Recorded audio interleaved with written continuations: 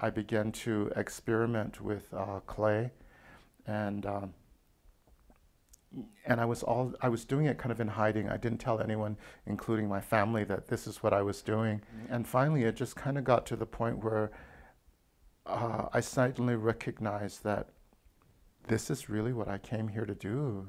You know, this it gave me so much joy, and I remember after much struggle on how to mix the clay and and all of these kinds of things, it was a big learning process. And over an eight-year period or so, it took me that much time to learn because uh, it was kind of like a self-discovery, and I didn't really want to go to anyone to say, uh, how do you do this, or can you teach me? Because I just, at that point, I was on a uh, mission, I think, of self-discovery.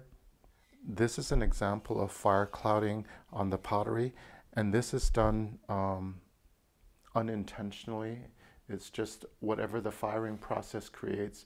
So there's no way to control the designs, uh, except probably in the fact that this piece has been fired uh, upside down, so therefore the fire clouding is on the top.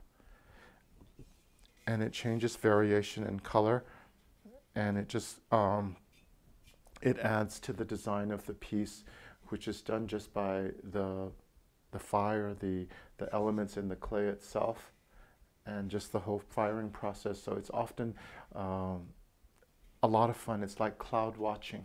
You can create designs in the, in the uh, fire cloud design. And this piece is was fired right side up, so therefore the clouding is on the top of the piece. And you can know, what came out really interesting about this is that it has almost like a veil, a very light uh, veil across the top of the piece. And the, the bottom portion has no fire clouding at all on it.